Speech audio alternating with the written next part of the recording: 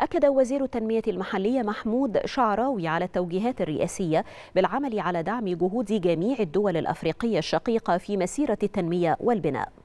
قال وزير التنمية المحلية إن القيادة السياسية تعطي أولوية قصوى لمساندة دول القارة في كافة المجالات التنموية وتوفير قدرات وإمكانيات مصر المختلفة لتحقيق الرخاء والتقدم للشعوب الأفريقية مع الاهتمام المتواصل ببناء القدرات وتدريب الكوادر في العديد من المجالات. إن الدورة دي ما هيش دورة تعليمية ولا دورة بتاخد في شكل التدريب اللي هو المباشر.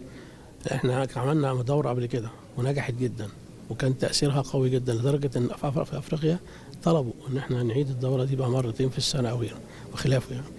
إحنا إحنا بنقدم رؤية مصر كمشروعات كمشروعات على كل مستوى كل القطاعات وده اللي بيخلي الناس تبقى بتبقى شايفة الحاجة من منظور الخبرة الكبيرة اللي اتعملت أو النجاحات اللي اتعملت في مصر. يجب علينا أن نطبق المدرسة المصري أو النظرية المصرية في في في في بلادنا الأفريقية.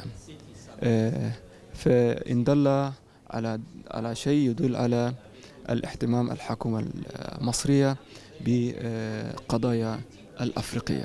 وده الدورة أكيد إن نتعلم منه حاجات كتير. إن شفنا إنه أكيد التوقعات بتاعنا إن نتعلم.